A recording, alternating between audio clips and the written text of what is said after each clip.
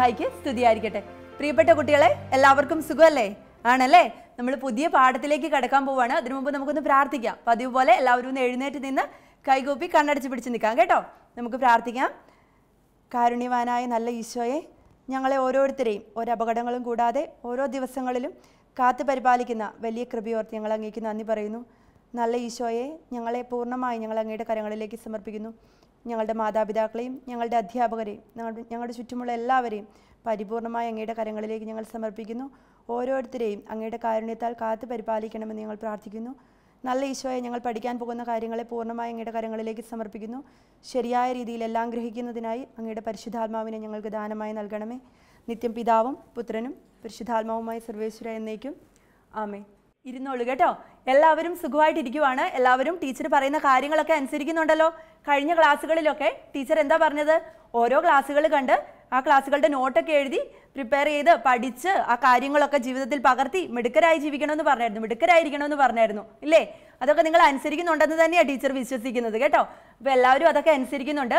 നിങ്ങൾ catechism classes മാത്രമല്ലല്ലോ സ്കൂളിലെ ഓൺലൈൻ ക്ലാസ്സസും ഒക്കെ അറ്റൻഡ് ചെയ്യുന്നുണ്ടല്ലേ അതിന്റെതായ തിരക്കുകളൊക്കെ ആയിരിക്കും നിങ്ങൾക്കെന്ന് ടീച്ചറിനെ അറിയാം. അപ്പം ഓൺലൈൻ ക്ലാസ്സസ് ഒക്കെ അറ്റൻഡ് ചെയ്യുമ്പോൾ കൃത്യമായിട്ട് സ്കൂളിലെ കാര്യങ്ങളും പഠിക്കണം. എല്ലാ കാര്യങ്ങളും ടീച്ചേഴ്സ് പറയുന്നത് പോലെയൊക്കെ പഠിച്ച് ടീച്ചേഴ്സിന് അയച്ചു കൊടുക്കാൻ പറയുന്നതൊക്കെ അയച്ചൊക്കെ കൊടുത്ത് എല്ലാം നല്ല മക്കളായിട്ടിരിക്കണം. പഠിക്കുന്ന കാര്യങ്ങൾ എപ്പോഴും എപ്പോഴും ഓർമ്മയിലുണ്ടായിരിക്കണം. എപ്പോഴും അത് ജീവിതത്തിൽ പകർത്താനൊക്കെ ആയിട്ട് ശ്രദ്ധിക്കണം. പുതിയ കാര്യങ്ങൾ പഠിക്കുമ്പോൾ നിങ്ങൾ എങ്ങനെയാ പഴയ കാര്യങ്ങൾ മറന്നു പോവോ? അങ്ങനെ പതിവുണ്ടോ? മറന്നു പോകാൻ പാടില്ല അല്ലേ? നമ്മൾ പുതിയ കാര്യങ്ങൾ പഠിച്ചാലും പഴയ കാര്യങ്ങൾ നമ്മൾ പഠിച്ചുകൊണ്ടിരിക്കുന്ന കാര്യങ്ങളെക്കുറിച്ച് എപ്പോഴും നമുക്കൊരു ഓർമ്മയുണ്ടായിരിക്കണം. എപ്പോഴും നമ്മൾ അതൊക്കെ മനസ്സിൽ സൂക്ഷിക്കണം. വേണ്ടേ? നിങ്ങൾ ഓർമ്മയുണ്ടോ എന്ന് അറിയാൻ വേണ്ടി ടീച്ചർ ഒന്ന് പരീക്ഷിച്ചേക്കാം. കഴിഞ്ഞ വർഷം ആറാമത്തെ ക്ലാസ്സിൽ ബേസിക് സയൻസിൽ നിങ്ങൾ എന്താ പഠിച്ചത്? മൂന്നാമത്തെ പാഠത്തിൽ നിങ്ങളുടെ പാഠത്തിന്റെ പേരെന്താണെന്ന് നിങ്ങൾക്ക് ഓർമ്മയുണ്ടോ? എന്താ പാഠത്തിന്റെ പേര്? ഫ്ലവർ ടു ഫ്ലവർ അല്ലേ? സ്റ്റേറ്റ് സിലബസിലുള്ളവരെല്ലാവരും അതായിരിക്കും പഠിച്ചിട്ടുണ്ടാവുക. ഫ്ലവർ ടു ഫ്ലവർ പൂവിൽ നിന്ന് പൂവിലേക്ക് എന്നൊരു പാഠം നമ്മൾ പഠിച്ചായിരുന്നു. ഇല്ലേ? ആ പാഠത്തിൽ എന്തിനെക്കുറിച്ചാണ് പഠിച്ചേ? ടീച്ചർ ഇപ്പോൾ പാഠത്തിന്റെ പേര് പറഞ്ഞപ്പോൾ മനസ്സിലായിട്ടുണ്ടാവും എന്തിനെക്കുറിച്ചാണ് പഠിച്ചതെന്ന് ഓർമ്മ വന്നു കാണും പെട്ടെന്ന് അല്ലേ പൂക്കളെക്കുറിച്ചാണ് പഠിച്ചത് അല്ലേ? പൂക്കളെക്കുറിച്ച് നമ്മൾ പഠിച്ചപ്പോൾ കുറേ കാര്യങ്ങൾ പഠിച്ചായിരുന്നു അല്ലേ? ചെമ്പരത്തി പൂവിന്റെ വരയ്ക്കാനും അതിനെക്കുറിച്ച് വിശദമായിട്ട് കുറേ കാര്യങ്ങൾ നമ്മൾ പഠിച്ചായിരുന്നു. അപ്പോൾ പഠിച്ചപ്പോഴേ നമ്മൾ ഒരു കാര്യം പഠിച്ചായിരുന്നു. ഈ പൂക്കൾ എന്ന് പറഞ്ഞാൽ എന്താണ്? ഒരു ചെടിയുടെ എന്താണ് ഈ പൂക്കൾ അല്ലെ ഈ പൂക്കളുടെ ജോലി എന്ത്? ഈ പൂക്കളുടെ ധർമ്മം ഫംഗ്ഷൻ എന്താണെന്നൊക്കെ നമ്മൾ പഠിച്ചായിരുന്നു ഇല്ലേ? എന്താ ഈ പൂക്കളുടെ ഫംഗ്ഷൻ എന്ന് പറഞ്ഞാൽ എന്താ പഠിച്ചത്? ഓർക്കുന്നുണ്ടോ? എന്ന് പറഞ്ഞു നോക്കിക്കേ. ആ ഓർക്കുന്നുണ്ടാവാനാണ് സാധ്യത. എന്താണ്? Flowers are the reproductive organs in plants അങ്ങനെയല്ലേ നമ്മൾ പഠിച്ചത്? അല്ലേ? അതെ flowers are the reproductive organs in plants എന്ന് പറഞ്ഞാൽ ഒരു ചെടിയിൽ നിന്ന് പുതിയ സസ്യങ്ങൾ ഒരു ചെടിയിൽ നിന്ന് ഒരു സസ്യത്തിൽ നിന്ന് അതിന് പുതിയ സസ്യങ്ങൾ ഉണ്ടാവണമെങ്കിൽ പൂക്കൾ ഉണ്ടായിരിക്കണം അല്ലേ? അപ്പോൾ പുതിയ സസ്യങ്ങൾ ഉണ്ടാവണമെങ്കിൽ പൂക്കൾ ഉണ്ടായിരിക്കണം എന്ന് പറയുമ്പോൾ തന്നെ നമുക്കറിയാം പൂക്കളുടെ പ്രാധാന്യം എത്ര വലുതാണെന്ന് അല്ലേ? ഒരു സസ്യത്തിന്റെ നിലനിൽപ്പിൽ പൂക്കൾക്ക് വളരെയേറെ പ്രാധാന്യമുണ്ട്. നമ്മുടെ വീട്ടിൽ എല്ലാവരുടെയും വീട്ടിലുണ്ടാവും മാവ് ഇല്ലേ? മാവ് എല്ലാവരുടെയും തന്നെ മുറ്റത്തൊക്കെ ഉണ്ടാവും. മാവിനെ നോക്കുമ്പോൾ നമുക്ക് അറിയാൻ പറ്റും. ആദ്യം അത് പൂക്കും അല്ലേ? മാവ് പൂക്കും നല്ലതുപോലെ പൂക്കും. കുറച്ച് കഴിഞ്ഞ് കഴിയുമ്പോൾ എന്താവും? ആ മാവിന്റെ പൂവ് എന്തായിട്ട് മാറും? മാങ്ങയായിട്ട് മാറും അല്ലേ? പിന്നെ മാങ്ങ മൂത്ത പഴുത്ത പഴമൊക്കെ നമ്മൾ കഴിച്ചു. അതിനുശേഷം ആ മാങ്ങയുടെ സീഡ് മുളച്ച് അതിൽ നിന്ന് എന്തുണ്ടാവുന്നു? എന്താ ഉണ്ടാവുന്നേ? ന്യൂ പ്ലാന്റ് ഉണ്ടാവുന്നു അല്ലേ? ഇതൊക്കെ ബേസിക് സയൻസിൽ നിങ്ങൾ പഠിക്കുന്നതാ. എന്താണ്? ആദ്യം നമ്മൾ ഫ്ലവർ ഫ്ലവറിൽ നിന്ന് ഫ്രൂട്ട് ഫ്രൂട്ടിൽ നിന്ന് പിന്നെ സീഡ് സീഡിൽ നിന്ന് ന്യൂ പ്ലാന്റ് ഉണ്ടാവുന്നു അല്ലേ? അപ്പോൾ ഈ ഫ്ലവർ ഇല്ലെങ്കിൽ എന്താ കുഴപ്പം? ഫ്ലവർ ഇല്ലെങ്കിൽ എന്തെങ്കിലും കുഴപ്പമുണ്ടോ? എന്തായിരിക്കും കുഴപ്പം? ആ ഫ്ലവർ ഇല്ലെങ്കിൽ ന്യൂ പ്ലാന്റ് ഉണ്ടാവത്തില്ല അല്ലേ? ന്യൂ പ്ലാന്റ് പുതിയ കുഞ്ഞു ചെടി ഉണ്ടാവണമെങ്കിൽ എന്ത് വേണം? ഫ്ലവർ വേണം. അത് നിർബന്ധമാണ് അല്ലേ? അപ്പോൾ പറഞ്ഞേ പുതിയ കുഞ്ഞു ചെടി ഉണ്ടായില്ലെങ്കിലോ? എന്നാ കുഴപ്പം? പുതിയ കുഞ്ഞു ചെടി ഉണ്ടായില്ല എന്തെങ്കിലും കുഴപ്പമുണ്ടോ? പുതിയ മാവും തൈ ഉണ്ടായില്ലെങ്കിൽ എന്തെങ്കിലും കുഴപ്പമുണ്ടോ? പൂക്കളും ഇല്ല ന്യൂ പ്ലാന്റും ഇല്ല ഒന്നുമില്ല. എന്തെങ്കിലും കുഴപ്പമുണ്ടോ? ഫ്രൂട്ട് മാത്രമേ ഉള്ളൂ. എന്തെങ്കിലും കുഴപ്പമുണ്ടോ? കുഴപ്പമുണ്ടല്ലേ നമ്മുടെ നിലവിലുള്ള നമ്മുടെ ഭൂമിയിലുള്ള മാവെല്ലാം തീർന്നു കഴിയുമ്പോൾ പിന്നെ ഭൂമിയിൽ മാവേ ഉണ്ടാവില്ല അല്ലേ? നിലവിലുള്ള മാവ് ചെടികൾ മരങ്ങൾ എല്ലാം തീർന്നു കഴിഞ്ഞു കഴിയുമ്പോഴേക്കും പിന്നെ ഒരു മരങ്ങൾ സസ്യങ്ങൾ ഒന്നും നമ്മുടെ ഭൂമിയിൽ ഉണ്ടാവത്തില്ല. അപ്പോൾ എന്തായാലും ന്യൂ പ്ലാന്റ് ഉണ്ടാവണം. അപ്പോൾ അതിന് ഫ്ലവർ വേണം ഫ്രൂട്ട് വേണം സീഡ് വേണം ഇതൊക്കെ വേണം. എന്നാലേ ന്യൂ പ്ലാന്റ് ഉണ്ടാവത്തുള്ളൂ അല്ലേ? അപ്പോൾ ഈ ന്യൂ പ്ലാന്റ് ഉണ്ടാവണമെങ്കിൽ ഫ്ലവർ അത്യാവശ്യമാണെന്ന് നമ്മൾ പറഞ്ഞു. അതുപോലെ തന്നെ എല്ലാ സസ്യങ്ങളുടെയും കാര്യത്തിൽ ഇങ്ങനെയാണ്. എല്ലാ സസ്യങ്ങളും അതിപ്പോൾ ആയിരിക്കുന്ന അവസ്ഥയിൽ നമ്മുടെ ഭൂമിയിലുള്ള അവസ്ഥയിൽ അത് നിന്ന് കഴിഞ്ഞിട്ടുണ്ടെങ്കിൽ അത് ജീവിതകാലം അത് തീർന്നു കഴിയുമ്പോൾ പിന്നെ അങ്ങനെ ഒരു സസ്യം നമ്മുടെ ഭൂമിയിൽ ഉണ്ടാവത്തില്ല. ദൈവം അതിനു വേണ്ടിയിട്ടാണോ ഇതിനെയെല്ലാം സൃഷ്ടിച്ചത്? അത് തീർന്നു കഴിയുമ്പോൾ അവിടെ തീർന്നു പോയിക്കോട്ടെ. അതിനു വേണ്ടിയിട്ടാണോ ദൈവം സൃഷ്ടിച്ചത്? അല്ലല്ലേ? പിന്നെയോ ദൈവം അവയ്ക്ക് ഓരോരുത്തർക്കും ഓരോ സസ്യങ്ങൾക്കും ഓരോ ജന്തുക്കൾക്കും ഒക്കെ ഓരോ കഴിവ് നൽകിയിട്ടുണ്ട്. എന്തിനു വേണ്ടിയിട്ട്? അവരുടെ വംശം നിലനിർത്തുന്നതിന് വേണ്ടിയിട്ട്. അവരുടെ വംശം നിലനിർത്തുന്നതിന് വേണ്ടി സസ്യങ്ങൾക്കൊക്കെ ഓരോ കഴിവ് നൽകിയിട്ടുണ്ട്. സസ്യങ്ങളുടെ കാര്യത്തിൽ മാത്രമല്ല ജന്തുക്കളുടെ കാര്യത്തിലും മനുഷ്യരുടെ കാര്യത്തിലും ഒക്കെ ഇത് തന്നെയാണ് കാര്യം. നമ്മൾ പറഞ്ഞിട്ടില്ലേ ദൈവം എല്ലാം സൃഷ്ടിച്ചു അല്ലേ? ആദ്യയിൽ ദൈവം ആകാശം ഭൂമിയും സൃഷ്ടിച്ചു സസ്യങ്ങളെ ജന്തുക്കളെയും മൃഗങ്ങളെയും മനുഷ്യരെയും ഒക്കെ ദൈവം സൃഷ്ടിച്ചതാണ് അല്ലേ? അപ്പൊ ദൈവം സൃഷ്ടിച്ചവ തീർന്നു പോവാൻ പാടുണ്ടോ? തീർന്നു പോകാൻ പാടുണ്ടോ? ഇല്ലല്ലേ? അപ്പോൾ ദൈവം സൃഷ്ടിച്ചതോ തീർന്നു പോവാതിരിക്കാൻ വേണ്ടിയിട്ട് ദൈവം ഓരോന്നിനും പ്രത്യേകം ചില കഴിവുകളൊക്കെ കൊടുത്തിട്ടുണ്ട്. ഓരോന്നിനും മനുഷ്യർക്കും മൃഗങ്ങൾക്കും സസ്യങ്ങൾക്കും ജന്തുക്കൾക്കും ഒക്കെ ഓരോന്നിനും ദൈവം ഓരോ കഴിവ് കൊടുത്തിട്ടുണ്ട്. എന്തിനു വേണ്ടിയിട്ടുള്ള കഴിവുകളാണ് കൊടുത്തിരിക്കുന്നത് പുതിയ തലമുറയെ ഉൽപ്പാദിപ്പിക്കുന്നതിന് വേണ്ടി. അപ്പം മനുഷ്യർക്ക് ദൈവം എന്ത് കഴിവാണ് കൊടുത്തതെന്ന് അറിയാവോ മനുഷ്യനെ ദൈവം എങ്ങനെയാ സൃഷ്ടിച്ചേ? എങ്ങനെയാ സൃഷ്ടിച്ചേ? ആദ്യ ദൈവം നമ്മൾ നേരത്തെ പഠിച്ചിട്ടുണ്ട്. ആദത്തെ സൃഷ്ടിച്ചതിനെ കുറിച്ച് അല്ലേ? ആദത്തിൽ നിന്ന് ഹവായെ സൃഷ്ടിച്ചു. അപ്പോൾ ദൈവം എങ്ങനെയാണ് മനുഷ്യരെ സൃഷ്ടിച്ചത്? ഉൽപ്പത്തി ഒന്ന് ഇരുപത്തേഴിൽ നമ്മൾ കാണുവാണ്. ദൈവം മനുഷ്യനെ സ്ത്രീയും പുരുഷനുമായി സൃഷ്ടിച്ചു. എങ്ങനെയാ സൃഷ്ടിച്ചേ? ദൈവം മനുഷ്യനെ സ്ത്രീയും പുരുഷനുമായി സൃഷ്ടിച്ചു. ഉൽപ്പത്തി ഒന്ന് ഇരുപത്തേഴിൽ നമ്മൾ വായിക്കുകയാണ്. അപ്പോൾ ഈ സ്ത്രീയും പുരുഷനുമായിട്ട് ദൈവം സൃഷ്ടിച്ചത്. മനുഷ്യനെ സൃഷ്ടിച്ചത് എന്തിനു വേണ്ടിയിട്ടായിരിക്കും? എന്തിനു വേണ്ടിയിട്ടായിരിക്കും? അത് നമ്മളിപ്പോൾ പഠിക്കാൻ പോവുകയാണ്. എന്തിനു വേണ്ടിയിട്ടാണെന്ന്? പിന്നെ എന്താണ്? മനുഷ്യനെ സൃഷ്ടിച്ചപ്പം ദൈവം ഒരു പ്രത്യേക കാര്യത്തോടു കൂടിയാണ് മനുഷ്യനെ സൃഷ്ടിച്ചത്. മറ്റു ജന്തുക്കൾക്കൊന്നുമില്ലാത്ത ഒരു ഗുണം. എന്താണെന്ന് അറിയാവോ? സ്നേഹിക്കാനുള്ള കഴിവ്. സ്നേഹിക്കാനും സ്നേഹിക്കപ്പെടാനുമുള്ള കഴിവ് നൽകിയാണ് ദൈവം മനുഷ്യനെ സൃഷ്ടിച്ചത്. എന്തൊക്കെയാണ്? സ്നേഹിക്കാനും സ്നേഹിക്കപ്പെടാനുമുള്ള കഴിവ് നൽകി. സ്നേഹം പകർന്നു കൊടുക്കാനും സ്നേഹം സ്വീകരിക്കാനും അല്ലേ? എല്ലാവരെയും സ്നേഹിക്കാനുള്ള പ്രത്യേക കഴിവ്. മൃഗങ്ങൾക്കൊന്നും അതില്ലല്ലേ മറ്റു സസ്യങ്ങൾക്കൊന്നും അതില്ല അല്ലേ? അപ്പോൾ ദൈവം മനുഷ്യനെ സൃഷ്ടിച്ചപ്പോൾ ദൈവം മനുഷ്യർക്ക് സ്നേഹിക്കാനും സ്നേഹിക്കപ്പെടാനുമുള്ള കഴിവ് നൽകിയ ദൈവം സൃഷ്ടിച്ചത്.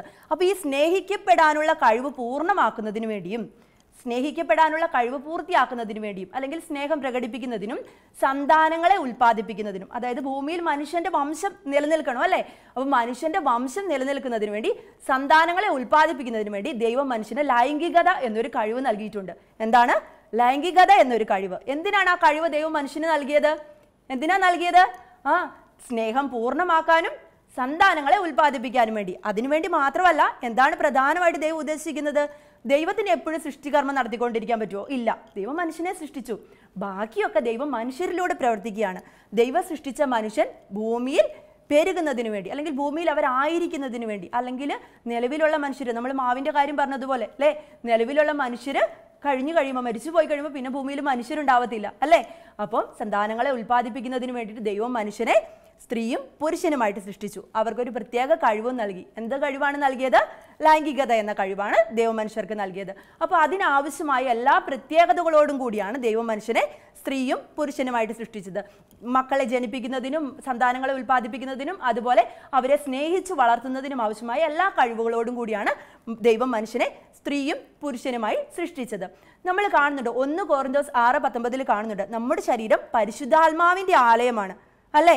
അപ്പം നമ്മൾ ചില വ്യക്തികളുണ്ട് അല്ലെങ്കിൽ നമ്മൾ സമൂഹത്തിൽ കാണുന്നുണ്ട് ദൈവം നൽകിയ ലൈംഗികമായ കഴിവുകളെ. ദൈവം നമ്മൾക്ക് എന്തിനാണ് ലൈംഗികമായ കഴിവ് മനുഷ്യർക്ക് നൽകിയത് എന്ന് നമുക്കറിയാം. എന്തിനാണ്? ആ ദൈവം നടത്തിയ ദൈവത്തിന്റെ ചില കാര്യങ്ങൾ ദൈവം ഉദ്ദേശിക്കുന്ന ചില കാര്യങ്ങൾ മനുഷ്യരിലൂടെ നടപ്പിലാക്കാൻ വേണ്ടിയിട്ടാണ് അല്ലേ? സന്താനങ്ങളെ ഉൽപ്പാദിപ്പിക്കുന്നതിനും സ്നേഹിക്കുന്നതിനും വേണ്ടിയിട്ടാണ്. പക്ഷേ ഈ കഴിവ് ദുരുപയോഗിക്കുന്ന സാഹചര്യങ്ങൾ നമ്മുടെ സമൂഹത്തിൽ നമ്മൾ കാണുന്നുണ്ട് അല്ലേ?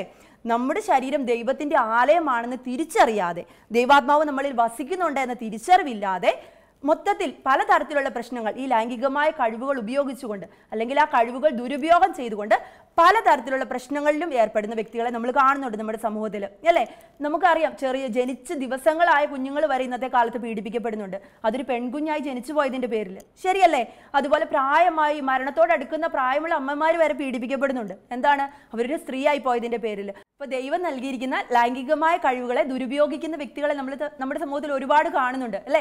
അപ്പോൾ ഈ ദൈവം നൽകിയിരിക്കുന്ന കഴിവുകളെ ദുരുപയോഗിക്കുമ്പോഴും നമ്മൾ തിരിച്ചറിയേണ്ട ഒരു വചനം ഇതാണ്. എന്താണ്? ഒന്ന് കോറിന്തോസ് ആറ് പത്തൊമ്പത്. നമ്മുടെ ശരീരം പരിശുദ്ധാത്മാവിന്റെ ആലയമാണ്. അപ്പോൾ പരിശുദ്ധാത്മാവിന്റെ ആലയമാണ് എന്ന് പറയുമ്പോൾ പരിശുദ്ധാത്മാവ് വസിക്കുന്ന ഇടം അല്ലേ? പരിശുദ്ധാത്മാവ് വസിക്കുന്ന ഇടമായ നമ്മുടെ ശരീരങ്ങളെ. അപ്പോൾ മറ്റു പല ജീവിതത്തിലെ മറ്റു പല സുഖ സൗകര്യങ്ങൾക്കും വേണ്ടി അല്ലെ? ശരീരത്തിന്റെതായ മറ്റു സുഖങ്ങൾ കണ്ടെത്തുന്നതിന് വേണ്ടി ഒക്കെ ദുരുപയോഗിക്കാൻ പാടുണ്ടോ? നിങ്ങൾക്കറിയാം അല്ലേ? ആലോചിച്ച് കഴിഞ്ഞാൽ മനസ്സിലാവും. ദുരുപയോഗിക്കാൻ പാടില്ല അല്ലെ? ദൈവം പറഞ്ഞിരിക്കുന്നത് ഇതാണ്. പരിശുദ്ധാത്മാവിന്റെ ആലയമായ ശരീരം നമ്മുടെ പരിശുദ്ധാത്മാവിന്റെ ആലയമാണെങ്കിൽ പരിശുദ്ധാത്മാവ് നമ്മളിലുണ്ട് എന്ന ബോധ്യത്തോടു കൂടി വേണം. അല്ലെങ്കിൽ ആ ചിന്തയോടു കൂടി വേണം നമ്മൾ എന്ത് ചെയ്യാൻ? ഓരോ ദിവസങ്ങളിലും കടന്നു പോകാൻ. അല്ലാതെ തെറ്റായ ചിന്താഗതികളിലൂടെ നമ്മുടെ ലോകത്തിന്റെതായ സുഖസൗകര്യങ്ങളിൽ മുഴുകി തെറ്റായ ചിന്താഗതികളിലൂടെ കടന്നു പോകുമ്പോൾ ആ ചിന്താഗതികളൊന്നും ദൈവത്തിന് യോജിച്ചതല്ല എന്ന തിരിച്ചറിവ് നമുക്ക് ഉണ്ടായിരിക്കണം. നമ്മുടെ ശരീരത്തിന്റെ പരിശുദ്ധിയെക്കുറിച്ച് പൗലോസ്ലിഹ കോറിന്തോസുകാർക്ക് എഴുതിയ ഒന്നാം ലേഖനത്തിൽ പറയുന്നുണ്ട്. നമുക്ക് ആ വചനഭാഗം ഒന്ന് വായിച്ചു നോക്കാം.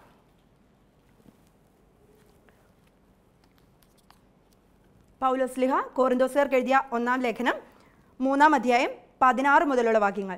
നിങ്ങൾ ദൈവത്തിന്റെ ആലയമാണെന്നും ദൈവാത്മാവ് നിങ്ങളിൽ വസിക്കുന്നുവെന്നും നിങ്ങൾ അറിയുന്നില്ലേ? ദൈവത്തിന്റെ ആലയം നശിപ്പിക്കുന്നവനെ ദൈവവും നശിപ്പിക്കും. എന്തെന്നാൽ ദൈവത്തിന്റെ ആലയം പരിശുദ്ധമാണ്. ആ ആലയം നിങ്ങൾ തന്നെ. നമ്മുടെ കർത്താവായ വിശുഹായിക്ക് സ്തുതി. അതായത് ദൈവത്തിന്റെ ആലയം നശിപ്പിക്കുന്നവനെ ദൈവവും നശിപ്പിക്കുമെന്നാണ് പറഞ്ഞിരിക്കുന്നത്. ആ വചനത്തിൽ നിന്ന് തന്നെ നമുക്ക് വ്യക്തമാണ്. എന്താണ് വ്യക്തമാവുന്നത്?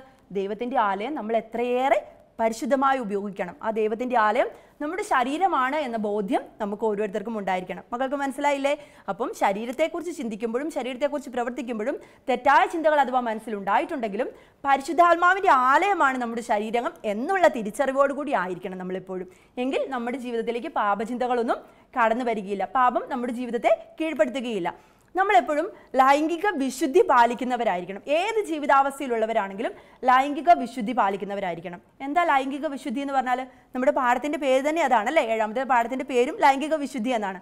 എന്താണ് ലൈംഗിക വിശുദ്ധി എന്ന് പറഞ്ഞാൽ എന്താണ്? ദൈവം നൽകിയിരിക്കുന്ന കഴിവുകളെ. ലൈംഗികമായ കഴിവുകൾ നൽകിയത് ആരാണ്? ആരാ? ദൈവം അല്ലേ?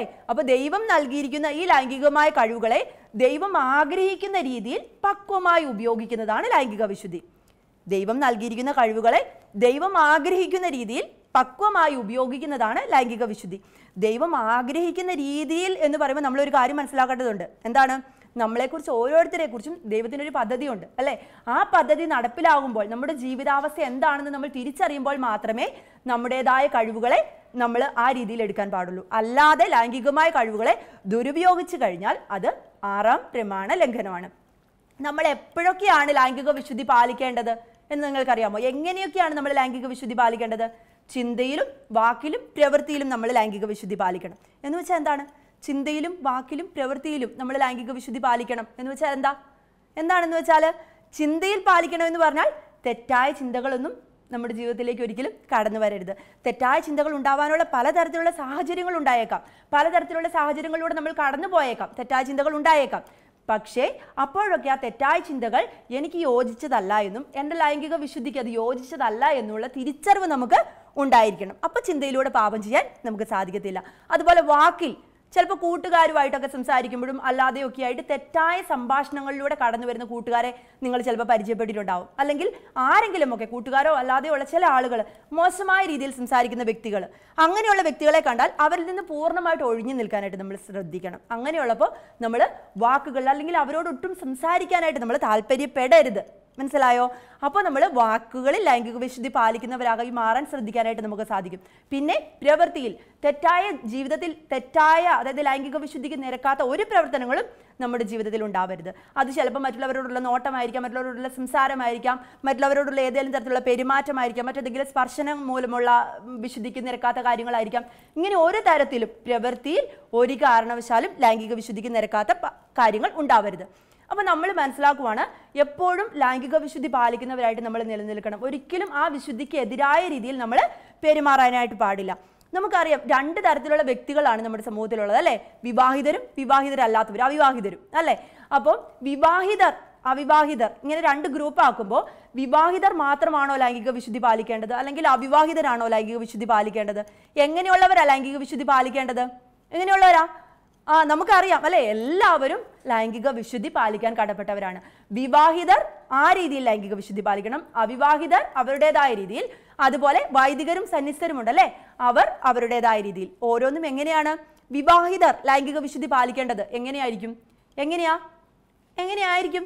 ആ അവരായിരിക്കുന്ന അവസ്ഥയിൽ അവരുടെ ഭർത്താവിനോടും ഭാര്യയോടും പൂർണമായി വിശ്വസ്തത പുലർത്തുന്നവരാവണം അല്ലെ? വിവാഹം കഴിഞ്ഞ ഒരാൾക്ക് എന്ന് പറഞ്ഞാൽ മറ്റൊരാളെ കുറിച്ച് ശാരീരികമായോ മാനസികമായോ അടുപ്പമുണ്ടാവാൻ പാടില്ല അല്ലെ? ശാരീരികമായും മാനസികമായും അടുപ്പം ഉണ്ടാവരുത് എന്ന് മാത്രമല്ല അത്തരത്തിലുള്ള ചിന്തകൾ പോലും ലൈംഗിക വിശുദ്ധിക്കെതിരായ പാപമാണ് എന്ന് നമ്മൾ പഠിക്കുന്നു അല്ലെ? അപ്പൊ അവിവാഹിതരോ? അവിവാഹിതർ എങ്ങനെയായിരിക്കും ലൈംഗിക വിശുദ്ധി പാലിക്കേണ്ടത്? എങ്ങനെയായിരിക്കും? അവരായിരിക്കുന്ന അവസ്ഥയിൽ ധാർമ്മിക നിയമങ്ങൾ പാലിച്ചുകൊണ്ട് വിശുദ്ധി പാലിക്കണം. എന്താണ് ധാർമ്മിക നിയമങ്ങൾ പാലിച്ചുകൊണ്ട് വിശുദ്ധി പാലിക്കണം എന്നുള്ളതിന്റെ അർത്ഥമാക്കുന്നേ? എന്താണ്? അവരെങ്ങനെയാണോ ഇപ്പോൾ ആയിരിക്കുന്നത്? അവിവാഹിതരായിരിക്കുന്ന സമയത്ത് ദൈവം അവർക്ക് നൽകിയിരിക്കുന്ന കഴിവുകളെ അതിനെ ആ യഥാസമയത്ത് മാത്രം ഉപയോഗിക്കുന്ന രീതിയിൽ അവർ നിലവിലുള്ള സാഹചര്യത്തിൽ അച്ചടക്കം പാലിച്ചുകൊണ്ട് വേണം ലൈംഗിക വിശുദ്ധി പാലിക്കാൻ.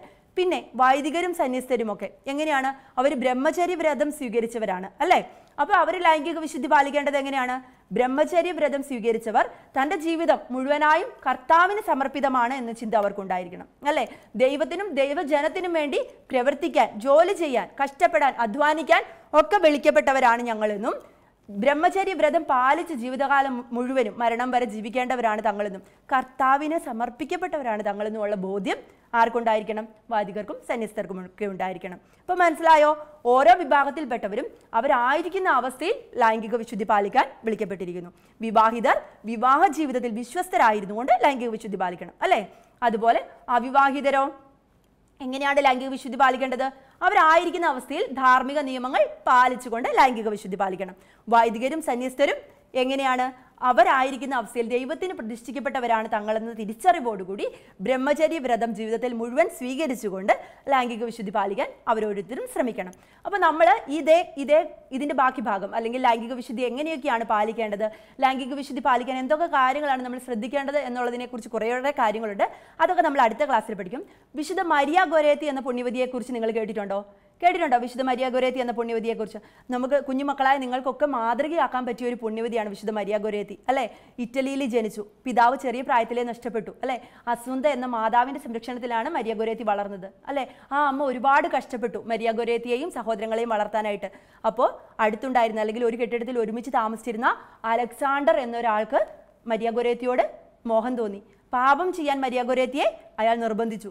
പക്ഷേ ചെറുപ്പം തൊട്ട് തന്നെ വിശ്വാസത്തിൽ അടിയുറച്ച് ജീവിച്ചിരുന്ന മരിയ ഗൊരേത്തി പാപം ചെയ്യാൻ തയ്യാറായിരുന്നില്ല അല്ലേ? എന്നിട്ട് എന്നാ സംഭവിച്ച മരിയ ഗൊരേത്തിയുടെ ജീവിതത്തിൽ നമുക്ക് ഈ വീഡിയോ ഒന്ന് കണ്ടു നോക്കാം. നിങ്ങൾ ഈ വീഡിയോ ഒന്ന് കണ്ടേ?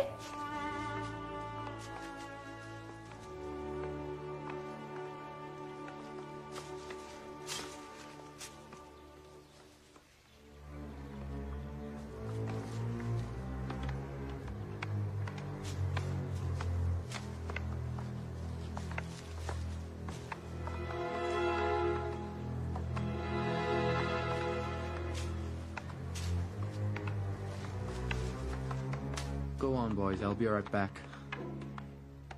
I forgot to get something inside.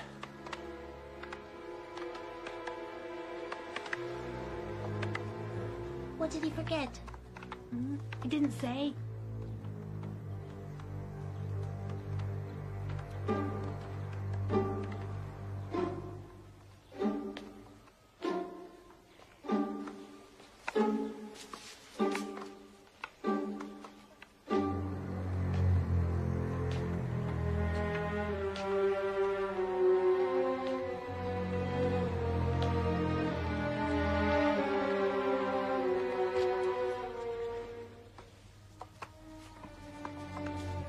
Come inside, Maria.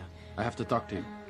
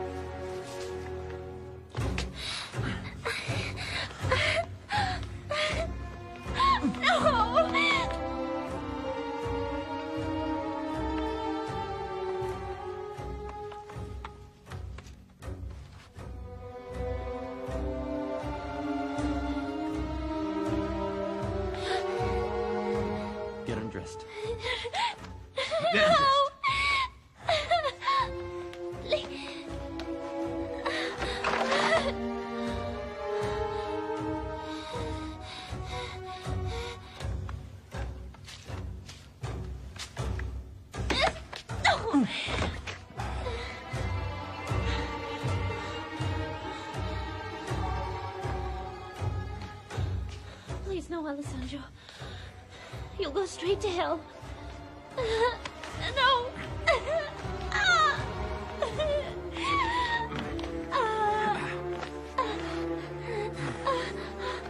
Tell me that you want me. Tell me now. God doesn't want! It's a sin! Come on. Tell me that you want me. I beg you, please don't do this. You'll go straight to hell. No. Tell me.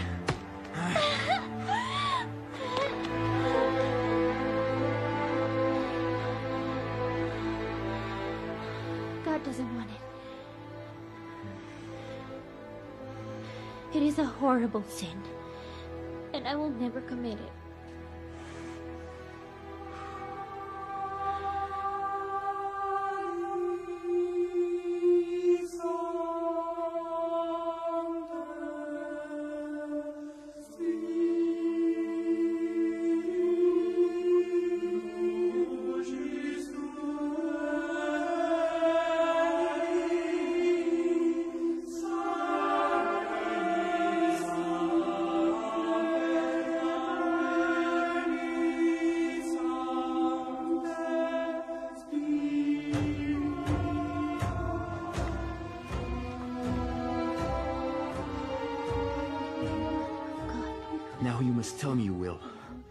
I'll slay you like a dog.